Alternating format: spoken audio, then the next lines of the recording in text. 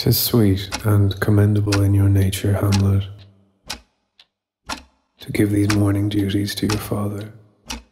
But you must know your father lost a father. That father lost, lost his.